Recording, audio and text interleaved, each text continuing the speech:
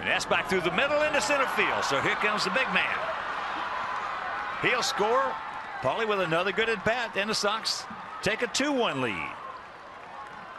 Paulie picking up RBI number 35. All is coming with two out, nobody on.